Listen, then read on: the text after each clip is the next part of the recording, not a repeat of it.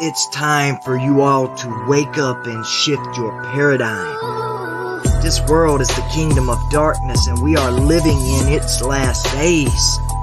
It won't be long before the day of the Lord will come like a thief in the night. The heavens shall pass away with a great noise and the elements will melt with fervent heat and the earth and everything therein shall be burnt up.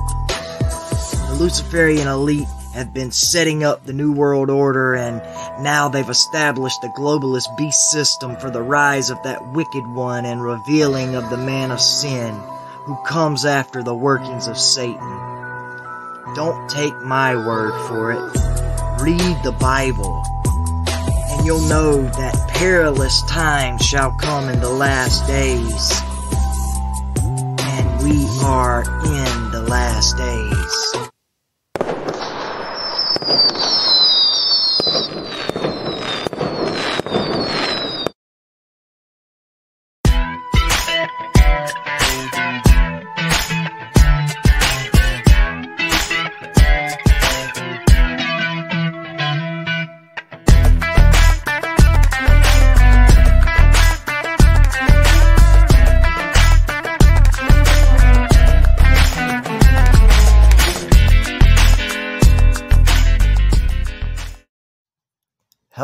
brothers and sisters, and welcome to another edition of the Remnant Report. I am your host, the Remnant Warrior, and this, as advertised, will indeed be a revealing prophecy episode of the Remnant Report, and not only that, but I have put together a presentation for you guys with video clips from Timothy Alberino and others that will show beyond a shadow of a doubt exactly the plan that the enemy had for this country of America that the secret societies and the Luciferians of this world have for a long, long time seen as the new Atlantis. And it will absolutely play a significant role in Bible prophecy. And after we watch the video clip that is about, well, it's a video made out of clips, it's about 20 to 25 minutes long. After we watch that, then I've got a very special guest for you guys. He is no stranger to Kingdom Productions Network and the Remnant Report. Brother Gary Wayne is going to give about an hour or so, maybe a little more. It just depends on how things go. But he's going to give a presentation on not only how the new Atlantis or America will play a part in the end times, but he's going to be going in detail about the contents of his book the Genesis 6 conspiracy because it has a tremendous amount to do with the topic that we're talking about tonight. And also because Brother Gary has a new book out, The Genesis 6 Conspiracy 2. So I want you guys to please stick around after the video from Timothy Alberino and the clips from the others that are along with that because you don't want to miss Brother Gary Wayne.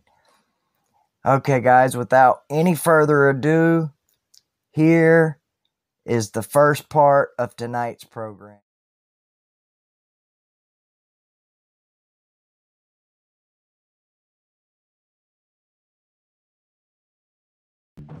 Some of the information in this video is going to be quite shocking to many people, especially those of you who live in the United States.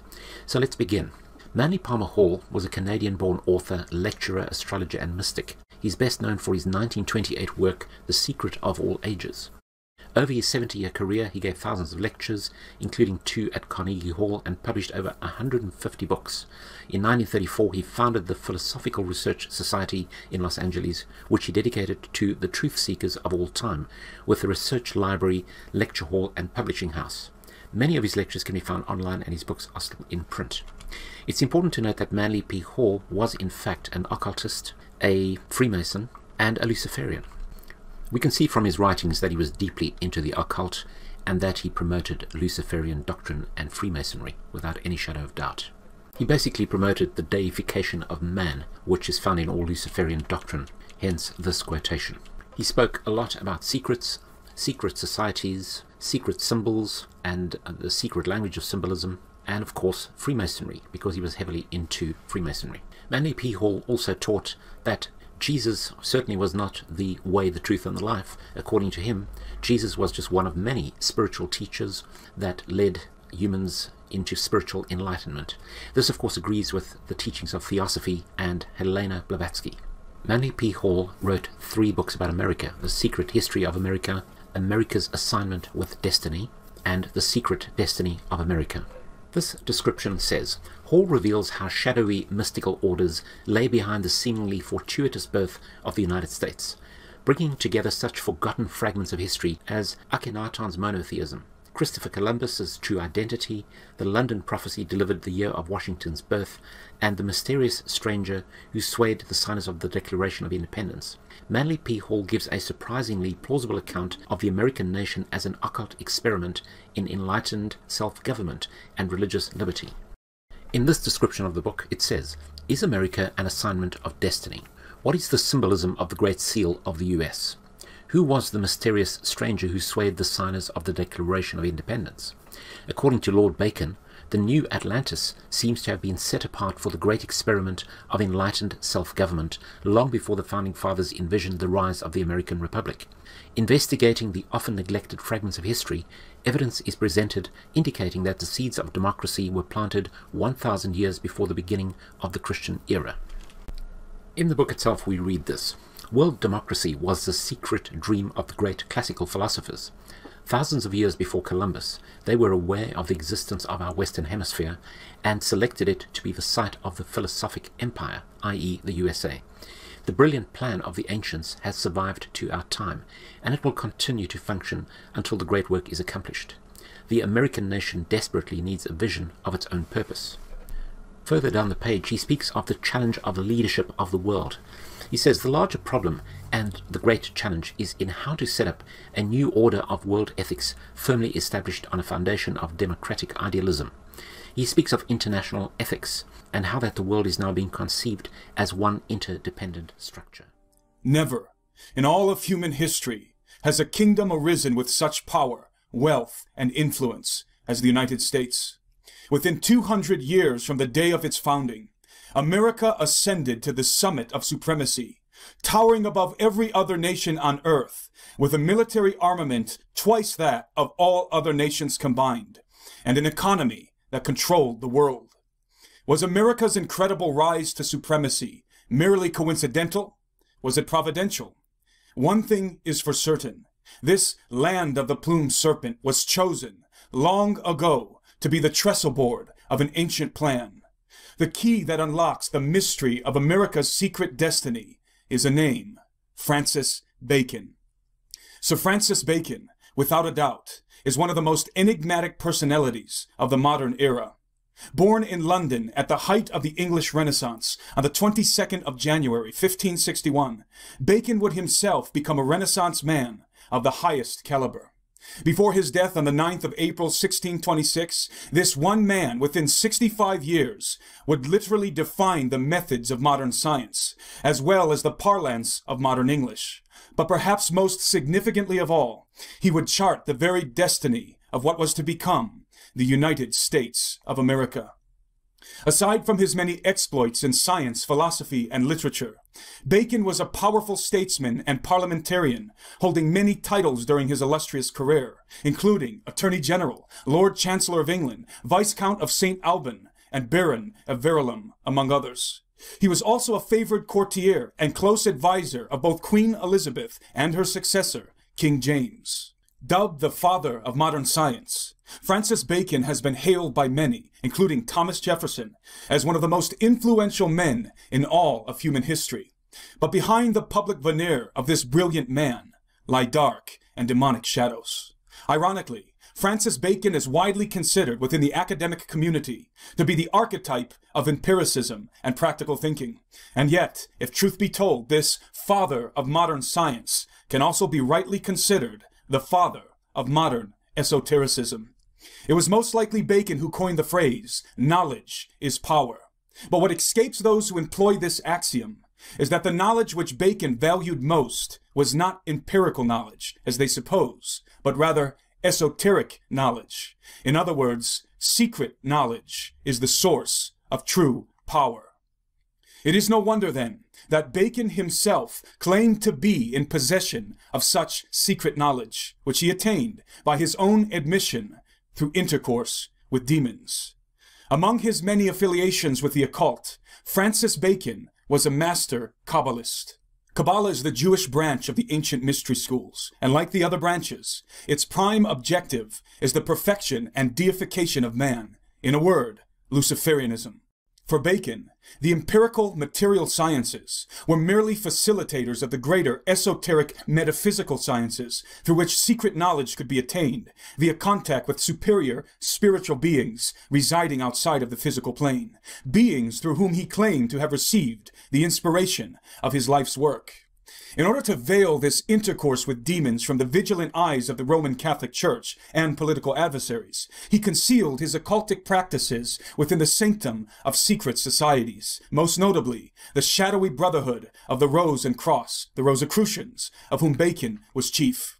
In fact, there is reason to believe that Francis Bacon was the protege of notorious wizard Dr. John Dee, who was a close friend and advisor to Queen Elizabeth and the deviser of a new brand of sorcery he called Enochian Angel Magic.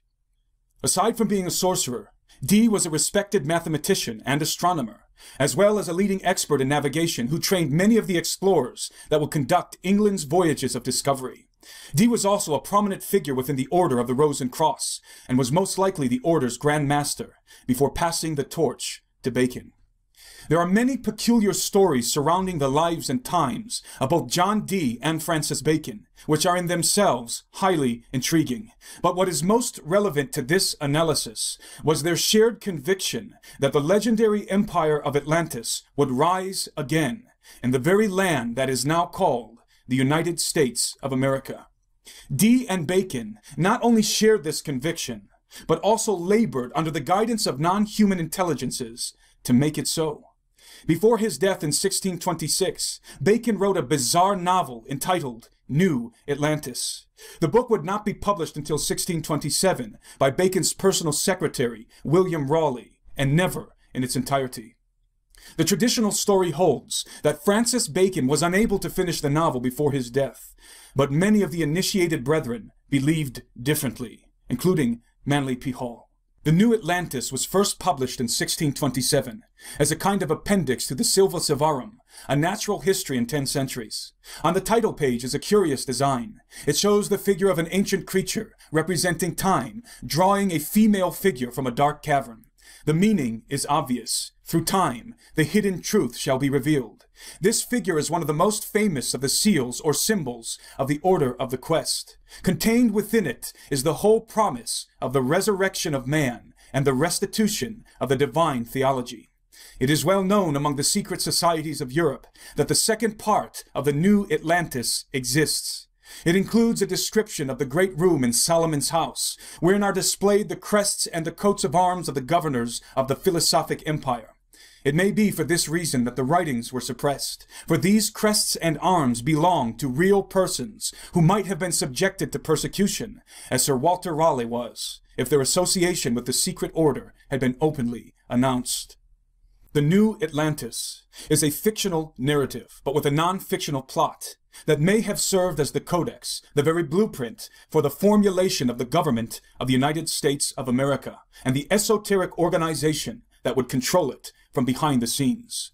In many ways, the New Atlantis is a manifesto of the secret society, a public confession, though concealed in a parlance perceived only by the initiated, concerning the construction of a utopian Christian society that would be ruled by a pagan philosophic priesthood, a priesthood dedicated to the doctrine and execution of the Luciferian agenda. The following is a brief summation of the New Atlantis. The story begins with a group of seafaring Europeans who set out on a voyage from the shores of Peru, but after being swept up in wayward winds, are driven far from their intended destination to the shores of an uncharted and mysterious island, whose name, they are told, is Bensalem, or Son of Peace in Hebrew. The seafarers soon discover that Bensalem is a utopian Christian society governed by an order of philosophic priests called the Society of Solomon's House. Which house or college, my good brethren, is the very eye I sort of left you with a revelation that many of you were not prepared to receive. And tonight I'm going to continue and back it up with a lot of facts. Remember, a lot of the meat of this little mini series that we're doing this week comes from a book entitled Scarlet and the Beast, written by John Daniel. Now, we've covered a lot of territory, and one of the points that I made is that the beast must resemble with at least 14 points exactly ancient Rome.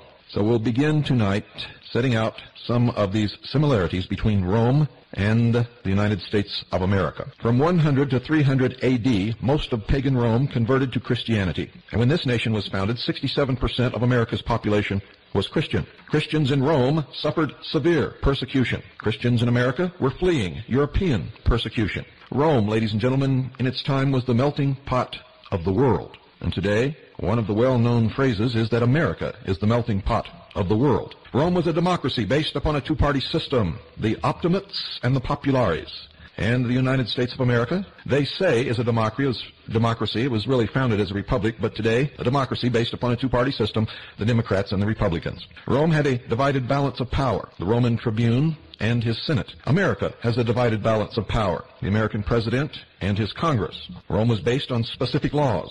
They had 12 tables. America is based on specific laws. Our Constitution. Rome protected the rights of its citizens. America, up until recently, protected the rights of its citizens. In Rome, all men were equal. That was the international law of Rome. In America, all men are equal according to the Declaration of Independence. But let me set that straight. All men in the Declaration of Independence were created equal. All men are not equal. And in Rome, all men, even though they said they were equal, were not. Those are facts. Look in history and you will see. Rome had a sordid history of slavery. America also had a sordid history of slavery. Rome was capitalistic. America is capitalistic. Rome practiced abortion as a means of population control control. And the United States of America practices abortion as a form of birth control. Rome loved R-rated entertainment. Look at the history of Pompeii. And here in the United States of America, we protect R-rated entertainment under the First Amendment as freedom of speech. Rome had a welfare program funded by taxes. You all know that we also have a welfare budget and many take advantage of it. In fact, our welfare budget rivals our military budget.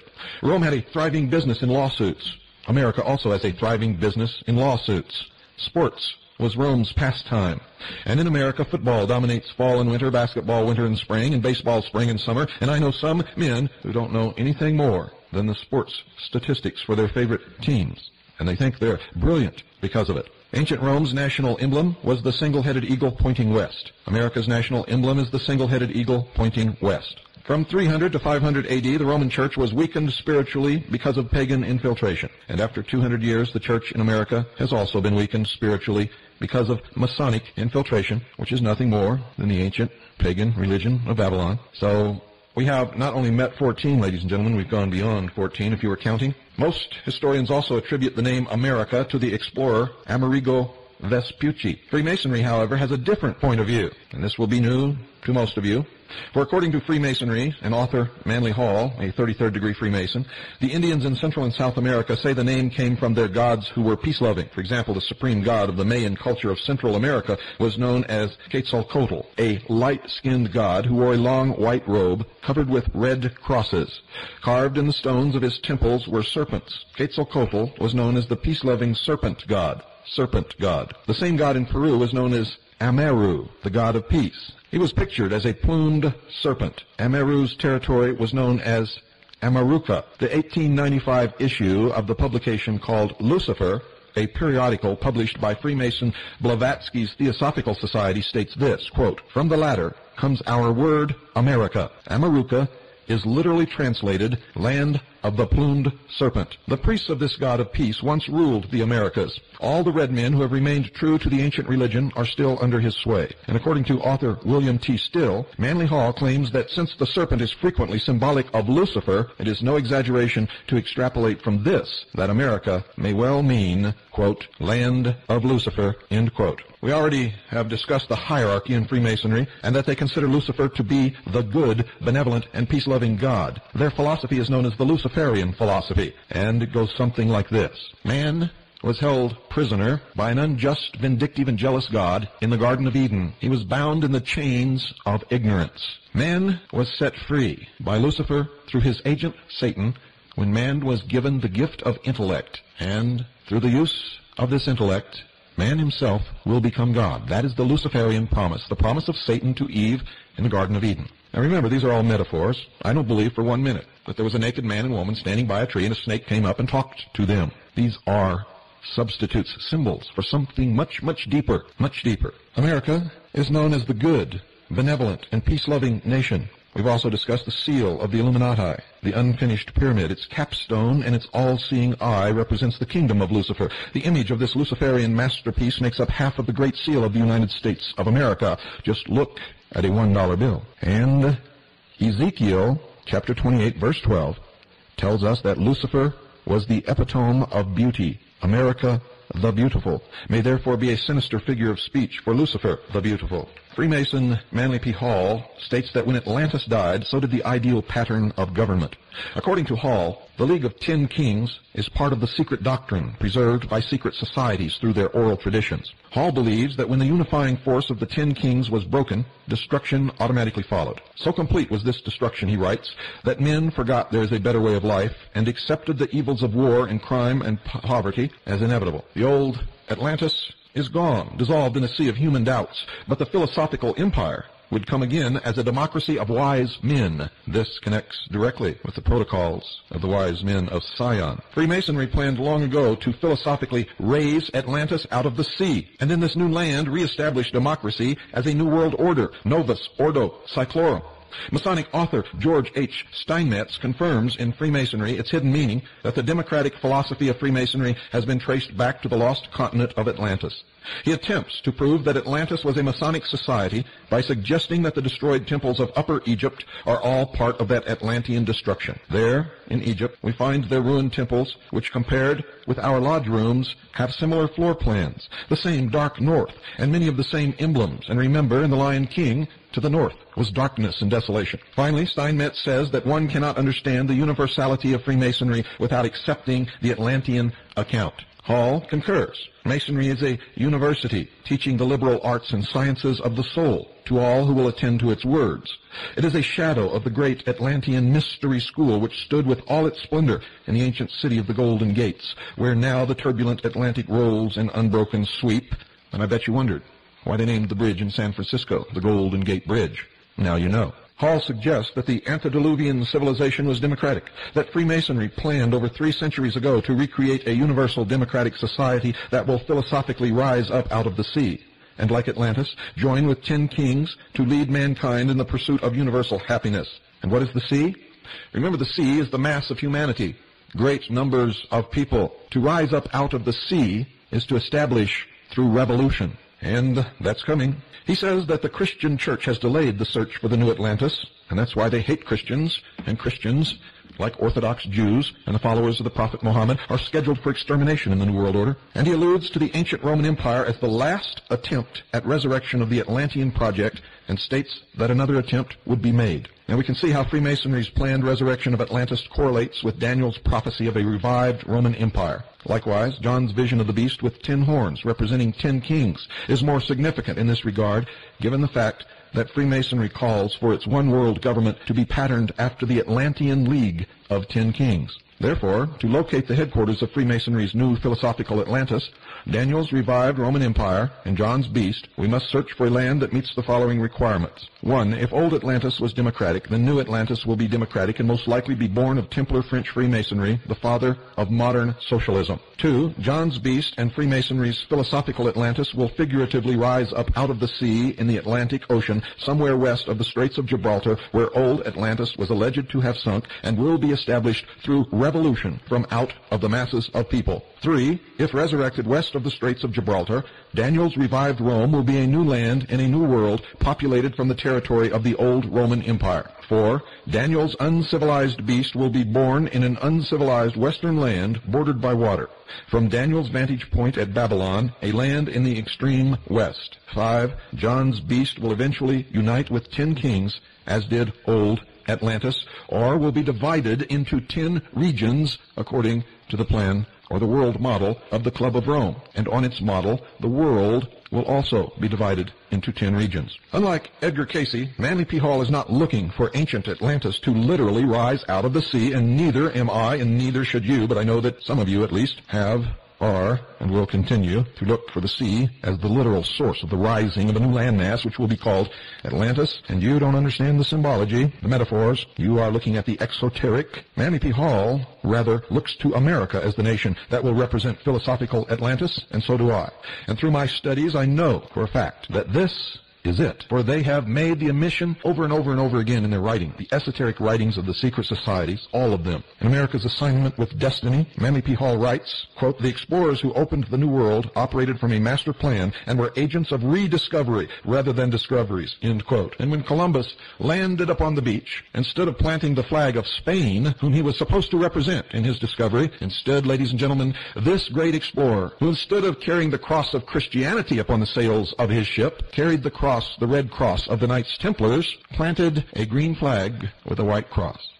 In a second book, called The Secret Destiny of America, Manly P. Hall claims that the unifying goal of ancient secret societies was to create a new Atlantis beyond the Atlantic Ocean in what is now called America. The bold resolution, he said, was that this western continent should become the site of the philosophic empire Still explains that America, according to this great plan, was to become the first nation to begin to establish a universal democracy or world commonwealth of nations. This quest was said to be the most noble pursuit to which a man could devote himself. And ladies and gentlemen, I would have to agree with that statement if it were done honestly and openly and for the noble purpose for which they claim. But we know that it is built upon lies and deception and manipulation, and that the men bringing it about, and it is all men, they do not practice what they preach. They are liars, deceivers, and manipulators. And there's nothing noble about the goal of these scum. The first modern philosopher to promote America as the new Atlantis was Sir Francis Bacon, who lived from 1561 to 1626. He was an English lord and Zionist Rosicrucian. As an occultist well versed in the Great Plan, also known as the Enterprise, Bacon concealed the secret doctrine in a novel entitled New Atlantis, in which he laid out the plan for a utopian society to be built on this newly discovered continent. Masonic authors Marie Bauer Hall and Manly P. Hall respectively say of Bacon, and I quote, Bacon is the founder of Freemasonry, the guiding light of the Rosicrucian order, the members of which kept the torch of true universal knowledge, the secret doctrine of the ages, alive during the dark night of the Middle Ages. Bacon had been initiated into the new liberalism represented throughout Europe by secret societies of intellectuals dedicated to civil and religious freedom. Later, when the moment was propitious, he threw the weight of his literary group with the English colonization plan for America, cherishing, as he did, the dream of a great commonwealth in the new Atlantis. This great plan has been perpetuated by an international group of only the highest initiates of the secret societies, as I have revealed to you over the years. Hello, brothers and sisters, and welcome to the Remnant Report. I am the Remnant Warrior, and this is a special revealing prophecy edition of the Remnant Report. And tonight we've got a special guest, and he needs no introduction, but I am going to allow him to introduce himself. Welcome, brother. Hi, my name is uh, Gary Wayne, and I've written a book called The Genesis 6 Conspiracy How Secret Societies and the Descendants of Giants Plan to Enslave Humankind. It's a, uh, it's a book that I spent 30 years in research and in writing the book. It was one of those books that um, I thought I wanted to write. I wanted to discuss and connect how this very, very strange verse and chapter in Genesis, Genesis 6, connects to so much else of the Bible and what has taken place in history.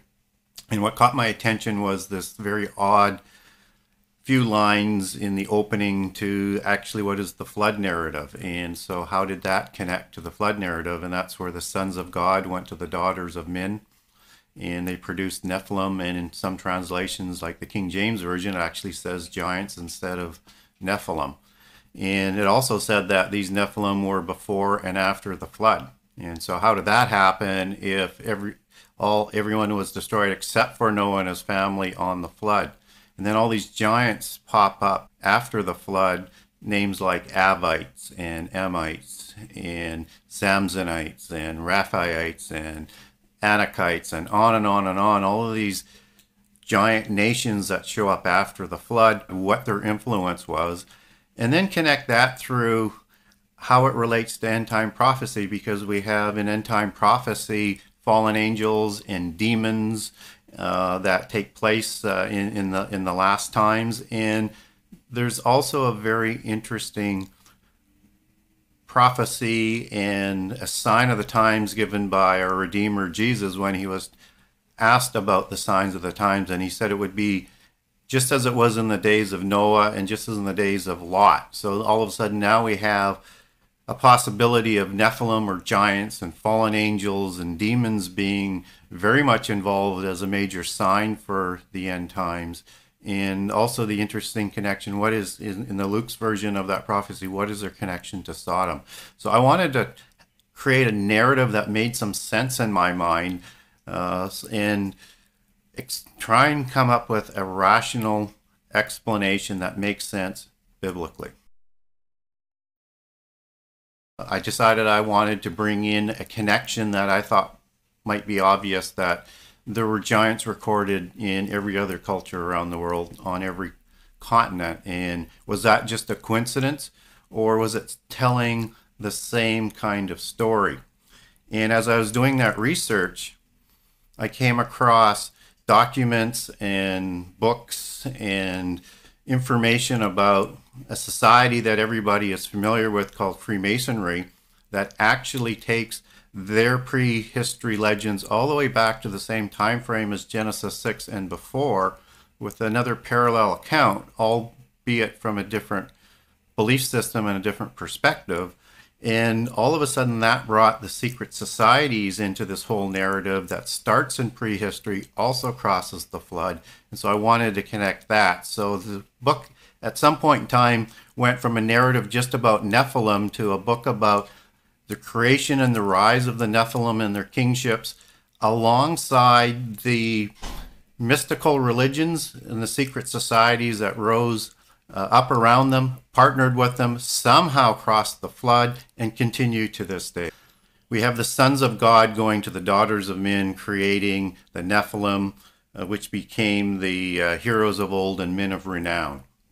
And so when we look at some original translations there, we look at the sons of God and who were they? Um, the Nephilim, who exactly were they? and then the heroes of old and the men of renown, which is the hero, uh, is the Hebrew word Gibron. And so then we have in how people will interpret this verse who actually are these people. And so that's the contentious issues that um, you're referring to and is argued from all different aspects. So just let me slowly walk through uh, who these three groups or three names of groups actually were and why it is exactly as it is written in Genesis 6. And so the sons of God, many people believe that they were just the sons of Seth. And therefore, these weren't actually giants. They were just um, another branch of people that came up that were evil. Well, that's that's a very good interpretation because if you go into the New Testament and we talk about the sons of God, those are just human beings. Or if we talk about the children of, of, Israel, those were just average human Israelites. So, what makes the sons of God in Genesis 6 actually fallen angels? Well, the original translation is uh, Bena Ha Elohim, and that stands for the sons of God. And if we want to go for an exact Old Testament interpretation, we need to go to Job, Job, the book of Job, and in three particular verses in Job, it translates angels with an asterisk and an annotation at the bottom of the page that in ancient Hebrew, angels were the sons of God.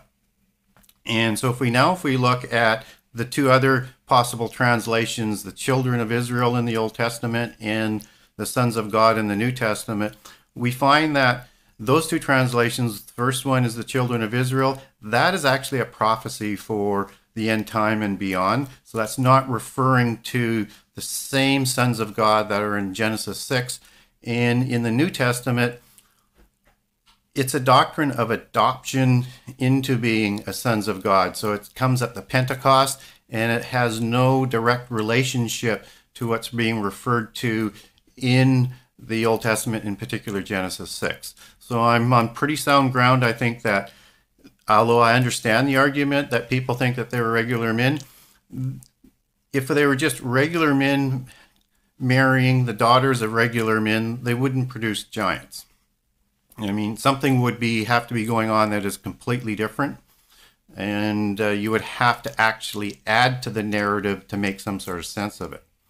And so now we move into the word Nephilim, which actually translates as the fallen ones. And so some people say that those were the uh, the angels and not, um, and and that the giants were actually the Gibborim, and I'll get to Gibborim next, which are the the men of renown.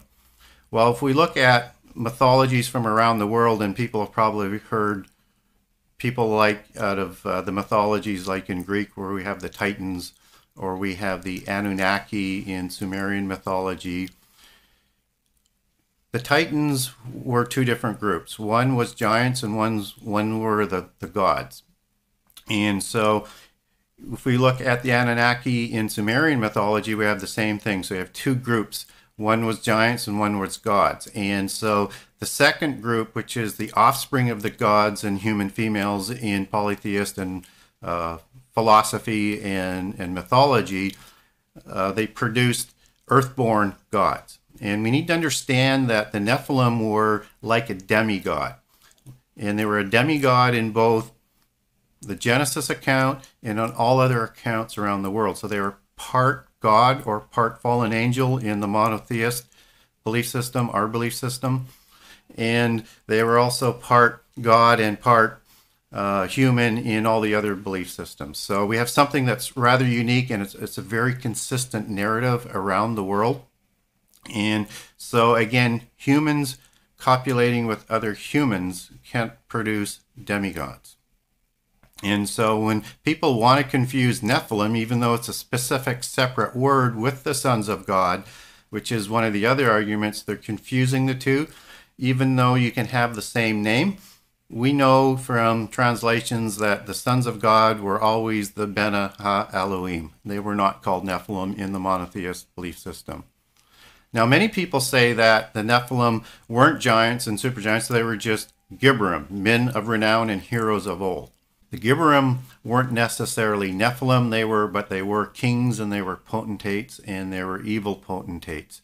And so when Gibborim is used later in the Old Testament. We see it come up in Ezekiel when it's talking about very powerful kings, and we also see it come up when it's talking about Nimrod. And, and I do understand many people think that Nimrod was a giant, but I'll argue he was actually Gibborim, and that was the specific application for Nimrod as a hero of old.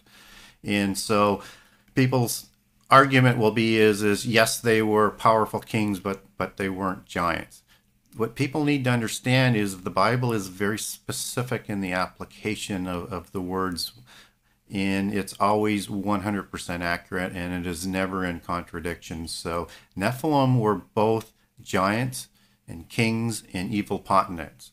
So you could be a Gibborim and be human and be an evil potentate but that doesn't necessarily make you Nephilim. But the Nephilim were both. And in the old world and immediately after the flood, the Nephilim were, they usurped all of the kingships.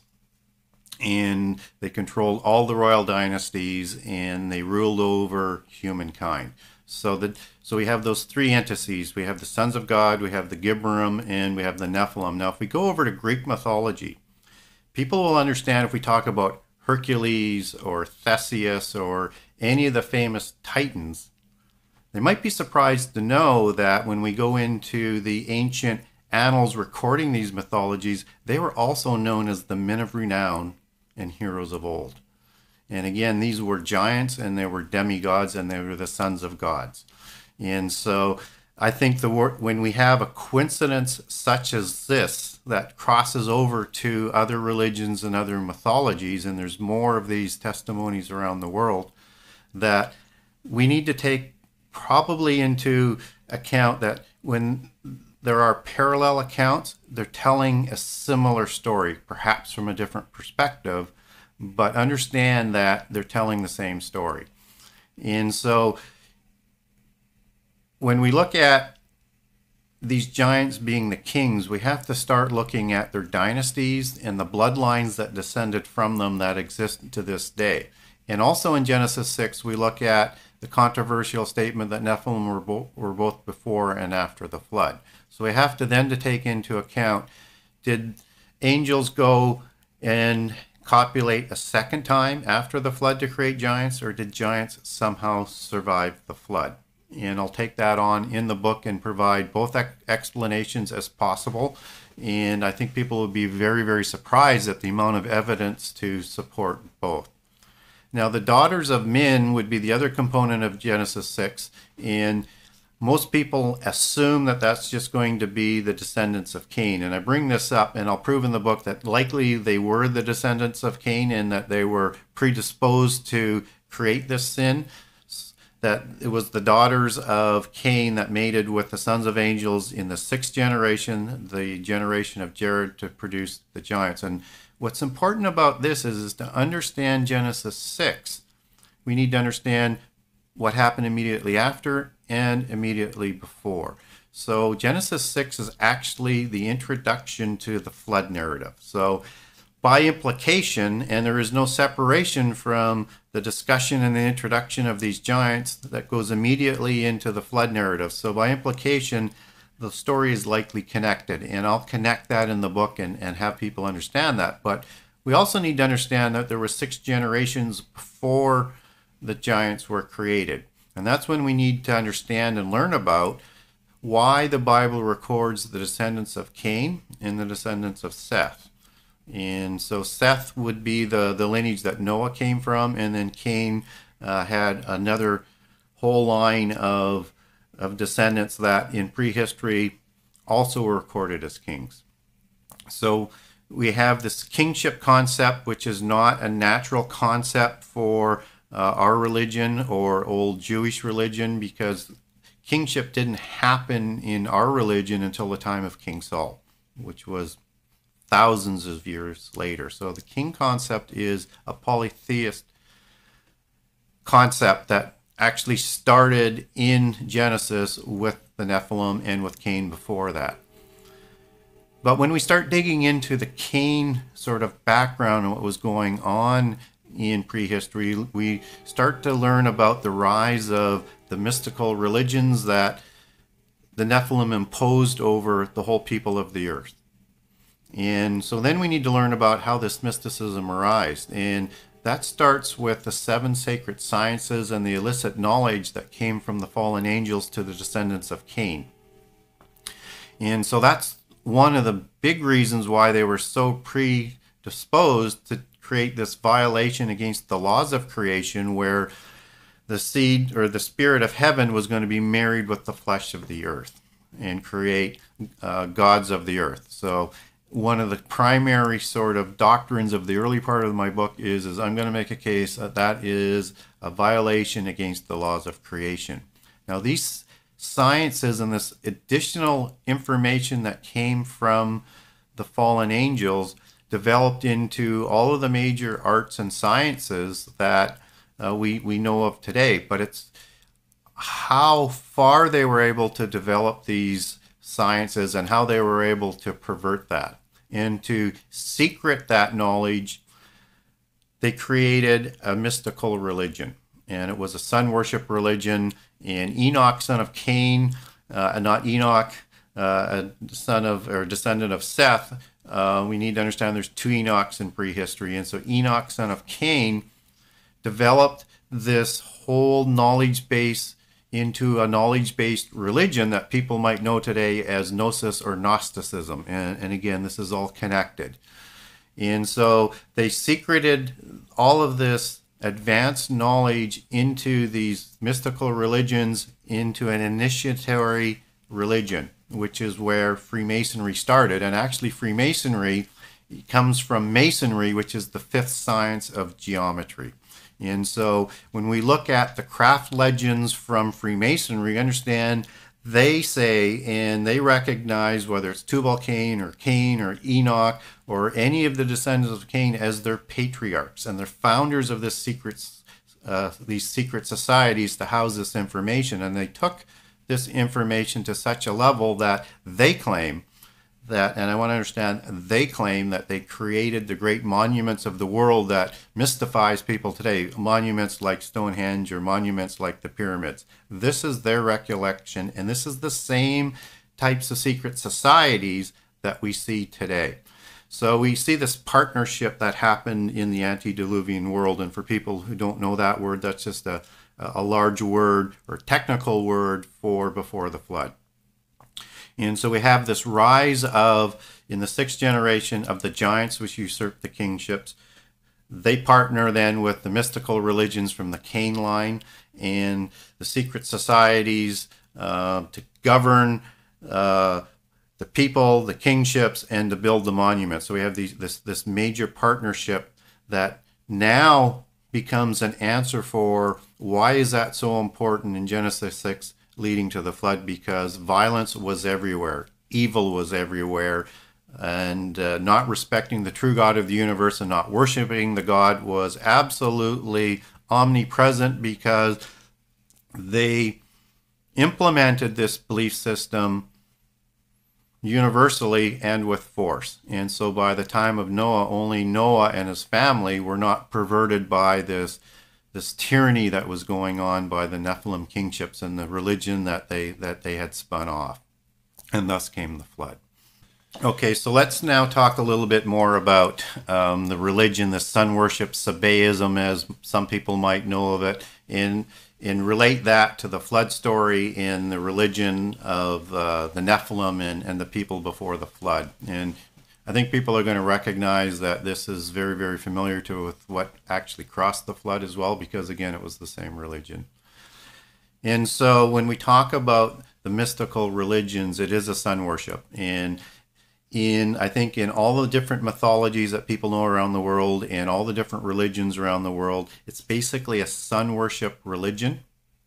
And it's a pantheon of gods. And those are the two connections. And so how this connects together is, is that the fallen angels and perhaps even fallen angels mating with fallen angels to create a lower set of gods in the pantheon with the nephilim as the earthborn gods and the kingships uh, at the lower level of this pantheon is the polytheist religions and it's the same pantheon that is all around the world. It doesn't matter whether or not it's in Greece or it's in Central America or if it's India. It is the same religion and it is the same pantheon.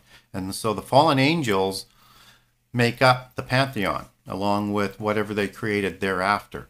And so these are the same dark angels that mated with the sons or the daughters of men to create these giants. And so there's 200 of them that actually went to Mount Hermon, then started the first generation of immortal giants. And so the demons that people refer to and were also part of what they call hero worship, which comes out of Greek mythology, these were the bodiless spirits of the giants. So the first generation of giants was created immortal because they had the immortal spirit of the angels, but their bodies weren't immortal. So those bodies either died out or they committed suicide to prevent the pain of the aging body. But those spirits were not permitted into heaven. And so that's the demons that Jesus talks about in the New Testament. And the crime for creating these giants were that those dark angels who I would call impassioned um, they were locked away in the abyss. And these are the same angels in the abyss that will be released in the end time. So, as a violation against the laws of creation, that was the punishment. Okay, so now we have the, the religion of Enoch, which is a, a sun worshiping religion based in mysticism and the secret sciences and initiations and sacrifices um, and all sorts of. Uh, what we would look at as abominations, whether it's orgies or sexual perversion and on and on and on, was all created before the flood. And so people knew that there was a apocalypse coming and so they were forewarned by the angels the fallen angels. And so they needed to find a way to protect this information and get it across the flood. And that's what the sons of lamech and just so that people understand, there's a Lamech on the Seth line and there's a Lamech on the Cain line, and that's where a lot of this sort of meshing together of the of the bloodlines and confusing of scripture and information as to who was who in in prehistory. Those sons and daughters, and Naamah was the daughter involved.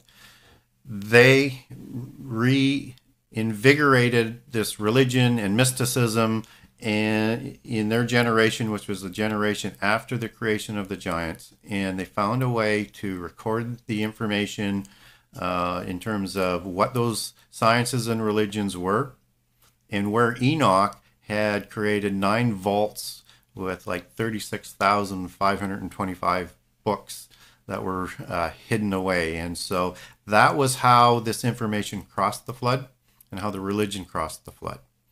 The key thing to remember is, is this is the same polytheist religion that we have all around the world. And I think it will resonate with people. Just as when we look at what will resonate in those cultures is all of this sort of dragon and snake imagery. And that's because the fallen angels were seraphim angels and they had the face of a viper. And so you put wings on a translucent spirit being and you have a form of a dragon, which is also the first form in the fairy mythology, because there are four fairies. And, in their mythology, there are the uh, the opalescent fairies that came from other planets, who produced the earthborn fairies, which is the Nephilim.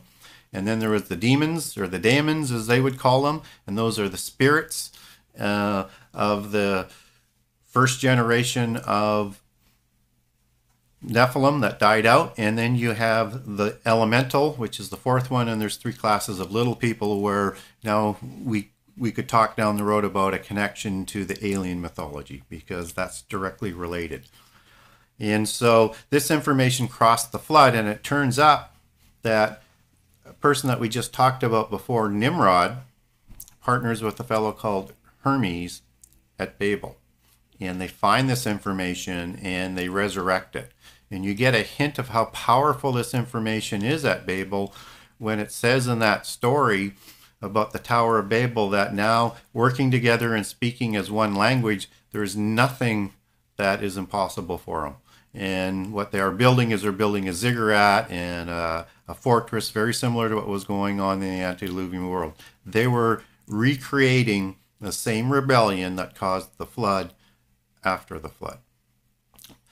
But the question gets to be is is how did the giants survive the flood or were they recreated after the flood because you could interpret Genesis 6 either way.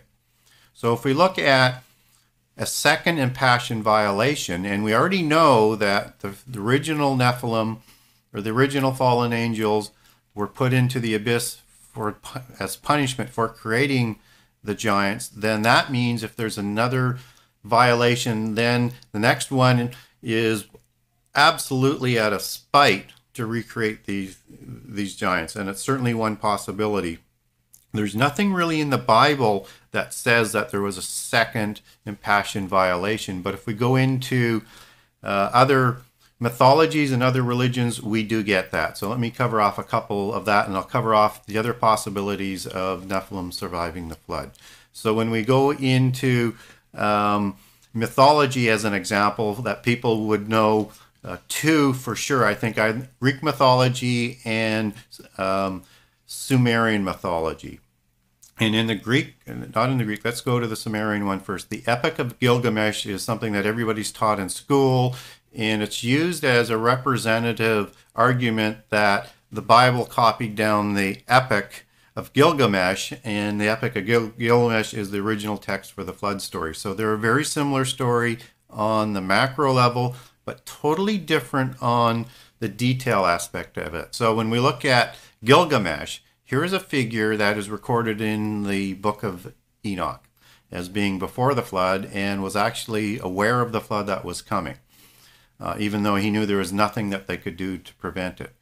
And in the Epic of Gilgamesh, he is known as an Anunnaki, what we would call Nephilim from a Christian perspective, that survived the flood.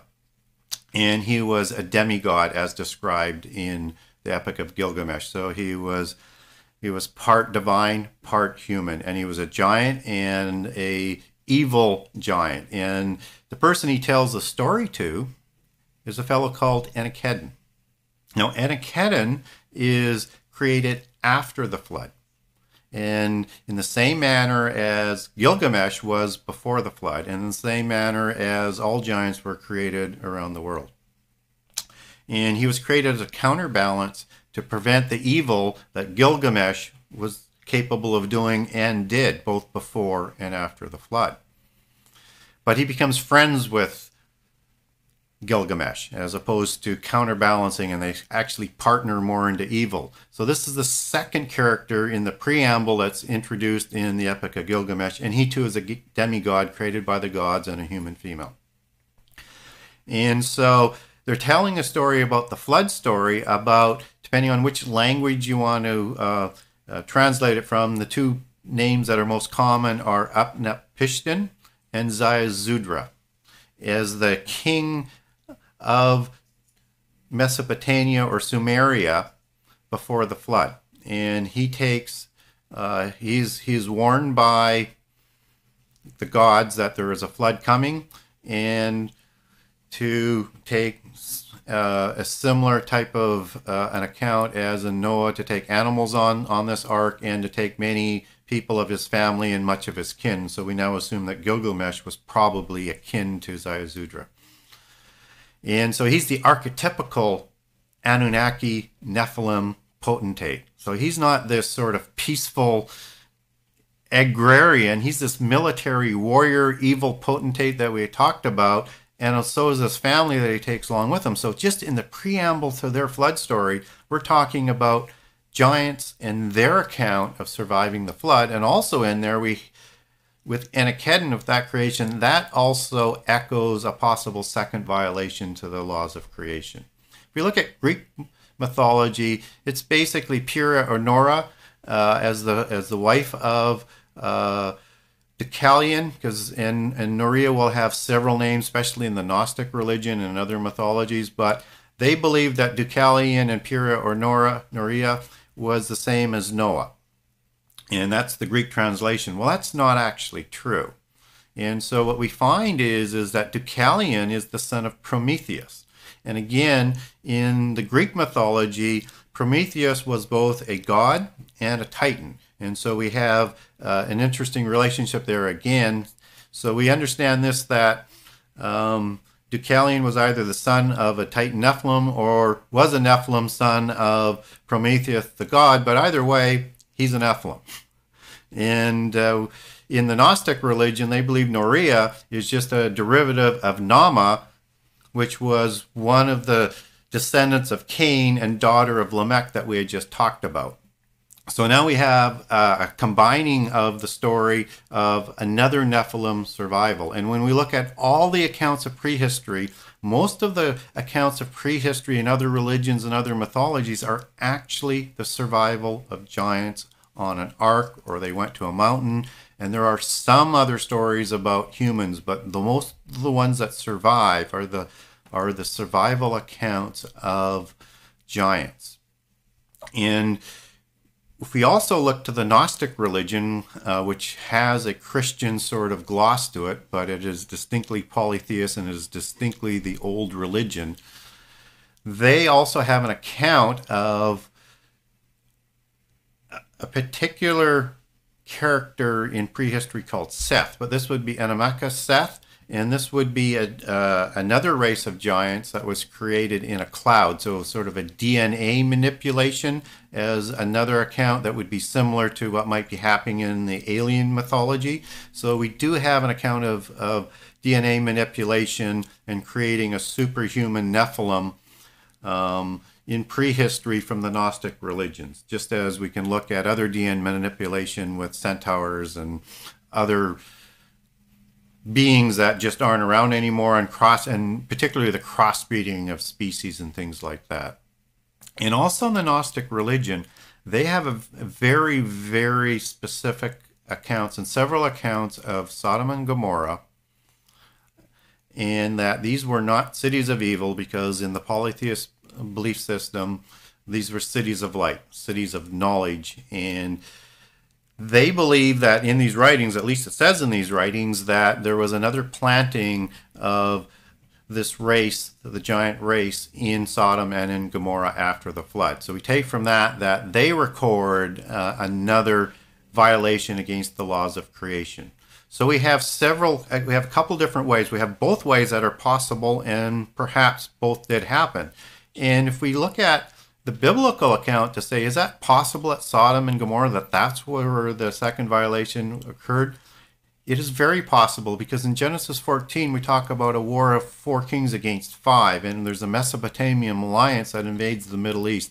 And all these nations that are listed are giant nations, whether it's the Amorites or the Amalekites or the Avites or the Emites, and on and on and on and on. And there's several battles that take place. And this is at the time of Abraham and Lot. That's the invading army from Mesopotamia that Lot is taken captive of um, that we're talking about. And then shortly thereafter, Sodom is destroyed. So there's a definite connection that Nephilim were there. They were the kings of, of, of the civilizations after the flood and after Babel, and likely a large reason for uh, destroying Sodom and Gomorrah and why it had descended so far down into abominations and, and evil. And so, if we look again scripturally, how were giants able to survive the flood? And when we take into account that the flood story says that basically all human beings were wiped out. All land creatures were wiped out. So how can this be? So it's either somehow they survived the flood, or there was a second um, violation against the flood. Now I'm going to bring in something that people kind of overlook. It does say in the flood story that the flood was designed to wipe out all the life forms that were created by God. And so you have a possible skirting or very specific wording that that did not include beings created by fallen angels. And so when you understand that fallen angels were created through the daughters of men, perhaps not all of them were wiped out, and perhaps the stories of prehistory are true with all of these different uh, cultures around the world recording that these giants actually survived the flood, either going to a mountain or into a cloud or on an ark. Okay, now let's also look at the, what I think people overlook very often is, the table of nations in First Chronicles and in Genesis. And in the tables of nations does is it records Noah and his three sons and all of their descendants. Well, all of a sudden we have very early in Genesis all of these nations like the Rephaites and the Anakites uh, that do not descend out of the table of nations. So again, they either survived the flood or there was another recreation. And it can be either. I, I actually, you know, at times I say it's one and sometimes I say it's the other. Actually, you know, the more I think about it and the more time goes, I think it's probably both. And there are so many nations that, that survived the, the flood, or at least somehow seemingly survived the flood because their names got to come out of nowhere. So when we look at uh, Seir in the Table of Nations, Seir's name enters as a people who, the descendants of Esau, um, son of, of Isaac, uh, married into. And these people come out of nowhere. And these are the Amalekites and the Horites. And there again is nothing recorded there in the table of nations or in the Old Testament to say how these people's how these people came about. And so when we look further into the Old Testament and we talk about the Amalekites, this is the beginning of another intermarriage and a hybrid population of giants being created that was totally anti uh, descendants of Isaac and Jacob. And so uh, we can also look at accounts of other peoples that aren't giants that somehow survived the flood somehow some way because again their names kind of come out of nowhere and they are not part of the table of nations. And few of those ones just to name an example would be the kenites and the kenizzites. And of course their history would say that they actually descended from tubal cain. And so when we talk about the kenizzites and the the Kenites uh, saying that they go back to uh, descend back to Tubal Cain, that's why we see this sort of mythos, uh, this mythology that continues through religions and entertainment uh, of people surviving the flood and and descending back to Tubal Cain. And probably the clearest one I and most recent one was the recent movie about the flood and Noah, and where they insert Tubal Cain being on the flood uh, on the ark and surviving the flood. And the Gnost that's that's that's a 100% Gnostic belief where they believe that. Um, two of the sons for sure. And in some accounts, they'll say Noah was was Nephilim as well. But uh, they believe that uh, Tubal Cain and Ham were the descendants of of Tubal Cain, and they were not the sons of Noah. And so again, you have to understand this is a different religion, a different belief system, but this belief system is everywhere and impacts all of our society. So we see those belief systems inserted in very strange and odd spots all the time. And when we talk about an ongoing mythos, I mean, I think so many people are probably familiar with the series on the History Channel with Ancient Aliens. And I watch Ancient Aliens all the time. I don't think there's a show that, that I've missed because I like the information that they bring in. I understand their perspective. Uh, I don't agree with their perspective, but what they're talking about is, is that the gods uh, of ancient prehistory were actually um, aliens and not gods. And so there's not a whole lot of difference in terms of how they're trying to explain it, except that from a biblical perspective, these aliens were the fallen angels, very advanced beings, and they're saying they just weren't quite as advanced. They're just more advanced than, than people of prehistory. So the accounts that they bring in are are extraordinarily um, relevant and pertinent, but for a Christian, just understand it from their perspective and then relate to it as to what Scripture says. And then when we talk about this mythos, we're talking about what everybody looks at as the little little gray aliens. I think everybody recognizes that most aliens are um, these little grays. Well, when we talked about the four classes of fairies in the in there are three subsets, and in the one subset, it's called the sec the, the subset of gnomes. uh, and goblins and sprites. And these were ugly little fairies. They weren't the pretty little ones with wings and everything that you see like in Disney and in Shakespeare and things like that. But these little ones, these they had a section called the the the little greys, the grey neighbors as they were known in Scotland. And so these little goblins were identical to the descriptions of the little grays uh, that we know of today and in the sightings. And what's important about that is, is that these grays had flying machines and they're offering technology and the ability to evolve and they would kidnap people and return them. They would do DNA experimentation on them. They were looking to create hybrids. And in, in my book, I'll give an, abduct, uh, an abduction by a fairy by a gray neighbor um, that you will find absolutely amazing. And if you didn't know it was an abduction by a fairy, a little people, you would think it was an, al- an alien abduction.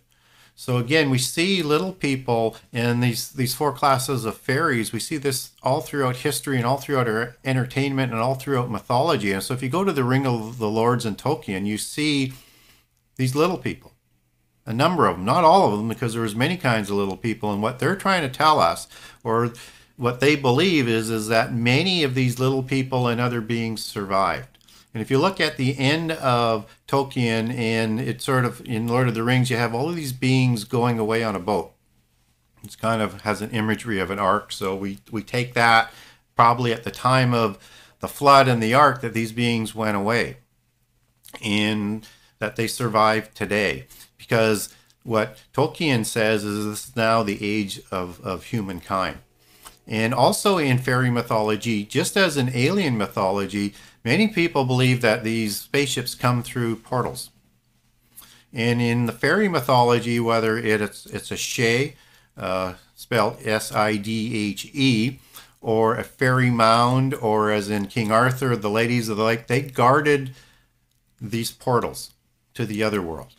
And so you see this incredible parallel of imagery and mythology with the alien mythology in just so many ways uh, to what we're talking about um, with fairies and with aliens. And of course, the fairy mythology goes back to the bloodlines and the descendants of, of giants. And the Tuatha De Danann, which uh, are sort of the home race of the fairy race uh, were, were Nephilim, and they were the offspring of the fairies in Ireland in the Celtic mythology. When we look at the bloodlines that survive on these kingships of Nephilim, there is a dragon bloodline, which is the male bloodline, and there is a fairy bloodline, which is the matriarchy. And both of those in both imagery and in importance in tracking the genealogy of the giants uh, is very, very important. And so that's why we see the fairy mythos and the dragon mythos, whether it's Dracula or uh, snake imagery. These are all the imagery of the kingships and the bloodlines. And when we understand that, we start to understand why all of this is kept alive in so many aspects, whether it's literature, whether it is entertainment, whether it's science fiction, and it has been that way throughout our 6,000 years because it's the imagery and the allegories of the mystical religion and the kingships and the bloodlines that have descended down through the generations. Okay, so let's let's start bringing this together a little bit more. And so, what's what's the purpose of of the other side or the descendants of giants, and and how and why do they want to enslave humankind? So let's again go first back to prehistory. So whether or not you're talking about the Greek uh, Titan rebellion uh, or the rebellion of the Nephilim against God, it's the same story. So in prehistory, we had the universal religion, we had giants, we had a rebellion against God. And so that brought about the first apocalypse. And in prehistory, they managed to enslave humankind. And so the creation of these giants, these snake like beings, because they look just like uh, the seraphim angels, their fathers in the first generations, they don't look like that today. um, as, as a descendant or as a bloodline. Um, but what Lucifer, what Satan was trying to do was take his revenge out because all of this is connected back to the angelic rebellion. And so humankind is destined to uh, be raised higher than angels. And this is not what the rebellious angels want. So this is all part of the angelic rebellion. And so when prophecy talks about rebellion, it will come about again in the end days, just as it did in the antediluvian period where the first apocalypse came. And the second apocalypse will be by fire, not by water. And so when these forces and partnerships revived after the flood, we see the first rebellion taking place, and again to to enslave humankind and bring on the universal mystical religion. We see this at Babel, where Nimrod is the Antichrist figure, and he usurps absolute control. And usurping of power is one of the sort of common traits to uh, the Antichrist. And so he usurps power as king. They bring in the mystical religion. They force everybody to worship. They develop the seven sacred sciences, and they're going to rebel against God. And if humankind actually succeeds in the rebellion against God, the dark angels win. And so they need to enslave us. And so God stepped in and confused the languages so that it wouldn't happen again until the uh, the time that's been ordained, which is which is the end time. And so we will see another rebellion, another stand against God, just as it did, as it occurred before the flood and at Babel. And so when we look shortly after the flood, these Nephilim, either from a recreation or surviving the flood, they once more usurped all of the main kingships after the flood. And so when we look at the Amalekite dynasty, the Egyptian dynasty, uh, the Sumerian or the Akkadian or the Mesopotamian dynasties, the Mitanni dynasty, the Hittite dynasties. These are all Nephilim dynasties. And these bloodlines exist today. And they exist today in the royal families. And so most of the royal families, and they have genealogies to prove it. At least that's what they say. And they also have genealogists, and Laurence Gardner uh, has written uh, many books about it as being a royal genealogist. They have the ability to take those genealogies all the way back to the, the all the way back into prehistory and all the way back to the giants.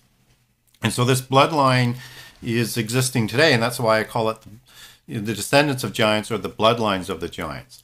And what these bloodlines are designed to do and have been designed to do all throughout history is is to be kept pure to introduce the antichrist.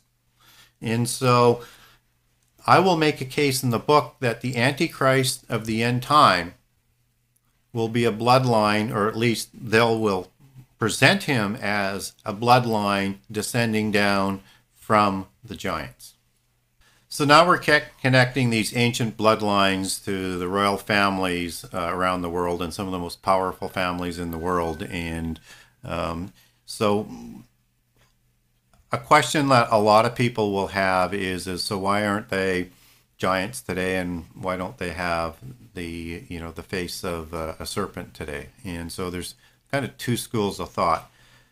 But I would encourage people if they if they ever get a chance to go see a King Tut uh, display. Uh, look for a statue of Akhenaten, and that would be circa 1400 BC. And if you look at that face, you're still seeing many facial features that are uh, snake-like or favor-like in terms of the uh, slanted eyes and the extended chin and the sloped forehead. And you can see through uh, prehistory, there's a significant amount of elongated skulls, and you'll see that in Egyptian history as well, and even as, as late as in Akhenaten. And try and keep the bloodlines as pure as they can. They still have to bring in other bloodlines, otherwise, diseases and genetic things will come in. So they'll reintroduce bloodlines from related families that may have some human uh, bloodlines. Um, refreshing the bloodlines, and so there's a, there's been a sort of a long continual dilution over time, which is what most people will believe as to why they've come down to a size that uh, of a normal human for the most part, and they don't have the same features as, as they did even 3,000 years ago, or maybe even 2,000 years ago. And then the other theory, which uh, I'm not necessarily a fan of, but um, if people really get in deep into the genre, there's a specific genre about the lizard people and that they have changeling qualities. Um, that's possible, I suppose. Uh, I don't. I'm not a fan of that particular one, but uh, there is a, a, large following out there that that uh, says that they have the ability to uh, duplicate what a human looks like, and when they're in private, they look like a lizard. I think that's pure speculation. I don't think there's any any proof of that. And uh, just as there's a lot of talk about the bloodlines of the royals is an Rh negative bloodline, and that's the uh, actual bloodline of the Nephilim. again, there's nothing to really prove that other than um, they say the, their belief is that's the belief of uh, how the word Genesis came about. So you have the gene of Isis in Genesis, and so when you look at Isis, that was the wife of Osiris, and they were they were gods or fallen angels, and then they had um, Nephilim with the same names underneath, and so that's where they say the gene of Isis comes from Genesis, and so when you look at Isis, that was the wife of Osiris, and they were they were gods or fallen angels, and then they had um, Nephilim with the same names underneath, and so that's where they say the gene of Isis comes from, and that is still out there today, and in the end time, they're going to collect all of the people who have the gene of Isis, and those are the people that are going to rule the next world, not the average humankind. So they have no real need for, for humankind. This, this that uh, has taken place and how they've affected history, but when we bring that into the modern time, we have to look to what are they doing today? Well, if we look at uh, the world today, it is being prepared for world government it is being prepared for the end times and this is all the work of the secret societies in the other religion and the and the bloodlines of the giant because they want to bring about the end time. They want to bring about the antichrist. They would prefer to do it not at the ordained time. They would prefer to do it any time other than the ordained time but they will take the ordained time if they have to and they will so if we start looking at what's shaping our politics today and what's shaping the belief systems and the education systems and all the propaganda that is out there, it is all the same imagery and all of the same belief system and all of the same organizations that were, were there before.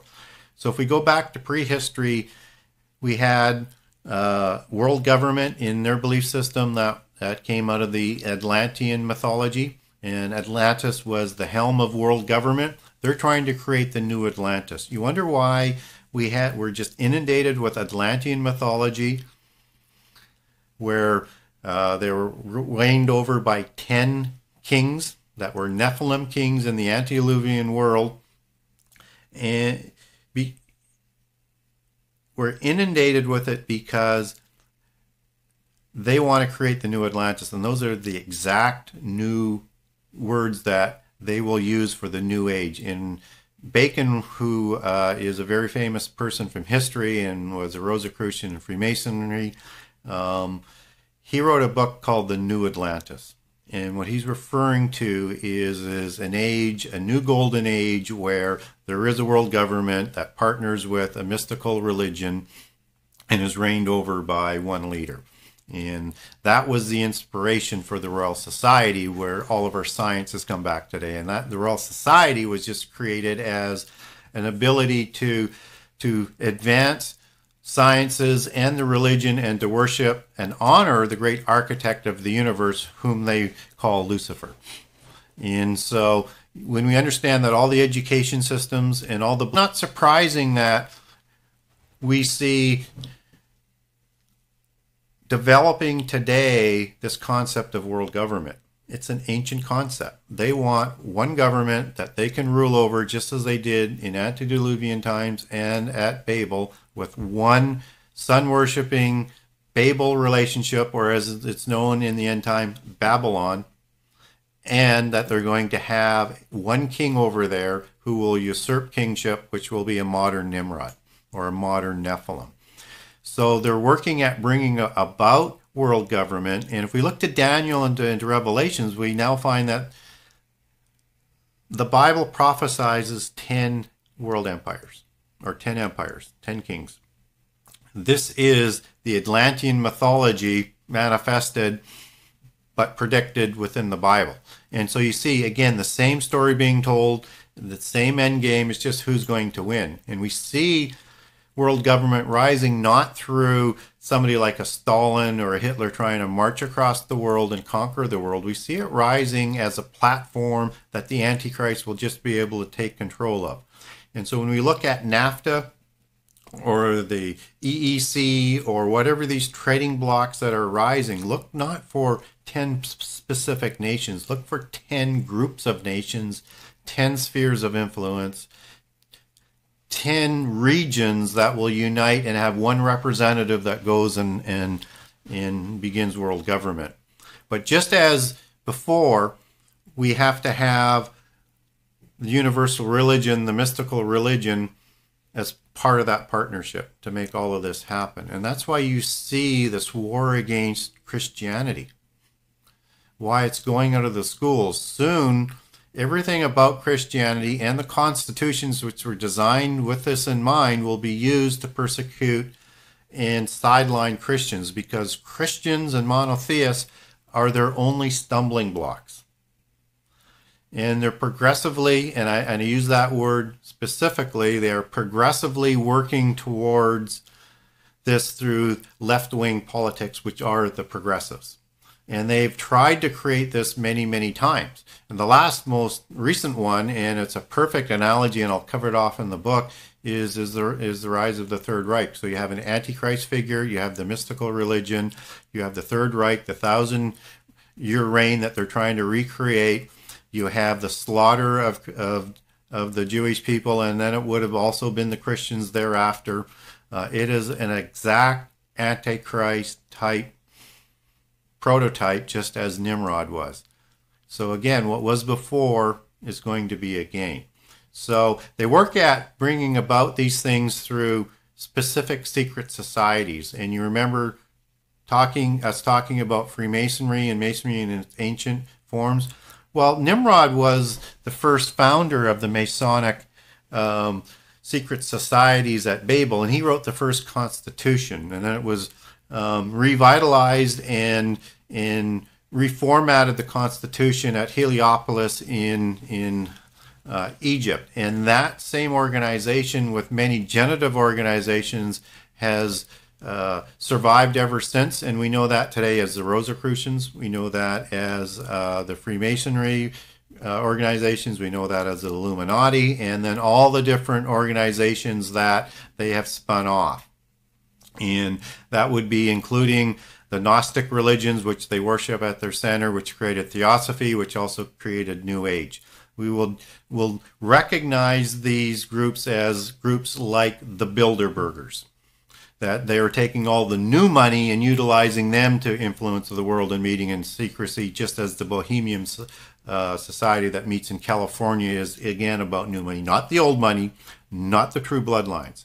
Understand there's a hierarchy involved here. So Freemasonry has lower levels, and then at the 33rd degree, they become illuminated and become an adept. And from the Illuminati and from the enlightened people at the 33rd degree, the Illuminati drafts um, those adepts. And so that's the inner part. And then those people who have some bloodlines, some noble bloodlines, and who are able to continue to progress with enlightenment, they are drafted into the Rosicrucians. And above the Rosicrucians is the Council of 300. And the Council of 300 comes from the 13 families of the pure bloodlines. And then you go back to the 13 bloodlines. And within that upper tier group, they're going to keep three Antichrist figures ready to go at any time, raised from childhood, illuminated in levels that a Rosicrucian of a lower level wouldn't have or Illuminati wouldn't have. But they've got an Antichrist figure ready to go all of the time. Some of the other organizations that these or that that these secret societies and families fund, people might uh, remember uh, the Skull and Bones. And so the Skull and Bones is just another one of these organizations, and what their main thing to do is is out of Yale, uh, in particular, they're going to draft in the pseudo blue blue bloods from the United States. And then when they talk about pseudo blue bloods, that's again the bloodlines. It's just not as pure as the ones that came across from Europe. But it's the American purebloods. And of course, those families tend to intermarry. But the people being drafted into the skull and bones, they're the people going into all of these um, government organizations, organizations to control governments. And so most of them go into an organization called the CFR first, and that's the Council of Foreign Relations. So if you look at any political shows and interviews, they're going to bring on these advisors and people when they're talking about politics, and many of them are going to come from the CFR. This is from that organization, and it's and it's their job to bring about world government. And there's not just the CFR that's an organization. You have the Bilderbergers, and they were doing the same thing, only from a European perspective. And that organization, their end product was the EEC. And we talked about that earlier as one of those rising empires, just as we look at NAFTA as part of uh, a North American entity that's going to form into these 10 world governments.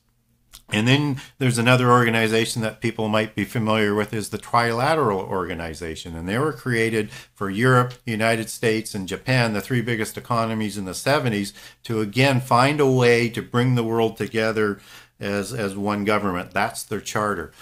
There's another interesting group, and there's many of these webs that are working. The Leviathan of this of this organization is so immense. You people can't imagine it. I can't imagine it. It's just everywhere. But there's a one that sort of brings us full circle is an organization called the Club of Rome. And the Club of Rome is an organization that was organized to bring about world government with, you guessed it, 10 empires. 10 blocks of countries. And they were organized in the late 60s and the early 70s. So this organization is above the Bilderbergers and is getting very close to the Council of 300 with its members. So very, very powerful. They split into several different groups. And so Freemasonry through Scotland, where it originated and where some of the surviving Templars went, was one aspect of it. And that was more or less the political aspect. And it grew with the expansion of the British Empire and with the French Empire. And so they also needed to replace the banking arm. Well, there was a family in Germany uh, who was working for some of the, the German bloodlines was brought in to, to be the bankers, and that was the Bauer family. And then when they grew rich and powerful and became the banking arm of the agenda of these bloodlines and organizations, they moved to England, to, Un- to, to London and they felt they, they should change their name. And coincidentally, most people will be familiar with the family called the Rothschilds. That's who the Bauer family is, and they were created to fund these organizations. Then they, the Rothschilds, they drafted many families in the United States uh, and made them wealthy, and they're loyal to the Rothschilds today. So if we talk about the Carnegies, or if we talk about the Warburgs, or if we talk about uh, J.P. Morgan, um, and in particular the Rockefellers, all of these families were funded by the Rothschilds, and they're totally loyal today. And these are sort of that heart of that pseudo blue blood line that goes back to the Rothschilds, who aren't as pure as the 13 families, because this was a, a less pure line that was brought in after the demise of, uh, of the Templars, but they were the banking arm. Now, the profits from the banks, let me back up a step first. Note that all the reserve banks in the world are owned by the banks. They're not government owned. And the Rothschilds own most of the banks, and the rest of the banks that are the ownership of the reserve banks were funded and created by the Rothschilds to act as their stable agents.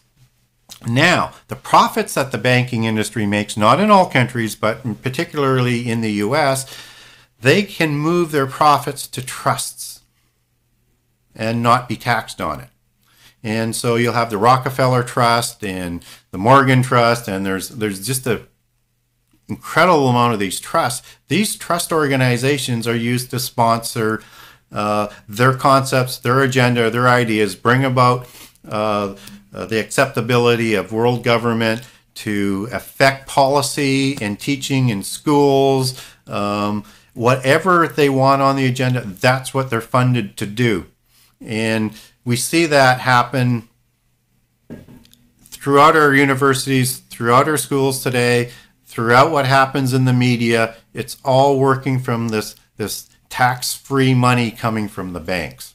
Look in behind uh, any organization, just look at the, the, the, symbology. So if you've got anything that has a, let's say for an example, um, derivative of Lucifer, um, whether it's uh, Lucent or anything like that, and there used to be a company called Lucent Technologies uh, that had the red dragon as their um, their icon, and uh, their address was 666 on a street in New York. So uh, they are very arrogant, in, but people don't look. But you have to understand the language that they're talking about. And so what they're what they're really trying to do is just sort of get people used to the concepts so that this isn't such a big surprise. So that when world government comes about, you're ready for it when socialism and they want to create a socialist government, you're used to it because you've seen these ideologies all throughout that Christianity isn't a religion that you can trust in, that the New Testament isn't accurate, the Old Testament isn't these, these are all the document uh, the doctrines of what they're trying to do. And when you see the imageries, whether it's um, with the alien myth- mythos. Look for the religion that's in the alien mythos. It's mysticism, it's Eastern mysticism. If it's evolution being taught in school, understand that comes out of Eastern mysticism. It's a mystical concept. It's not about um, that you just live and die. It's that, it's that it's part of recreation that your your spirit will evolve over time to become a god so it's a different spin, a different belief system into godhood, just as Eden, the, the big doctrine out of Eden is, is eat from the tree of good and evil so you can be like God. The whole doctrine is, is that they're going to try and deceive us into that we believe that we can rebel against what they would call the evil God and follow the good God, which they believe is Lucifer.